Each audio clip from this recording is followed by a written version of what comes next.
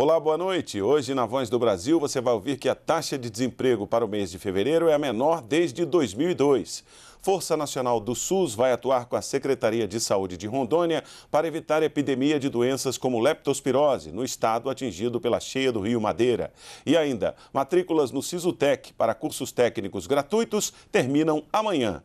Estas e outras notícias daqui a pouco às sete da noite na Voz do Brasil, em todas as emissoras de rádio do país. Até lá!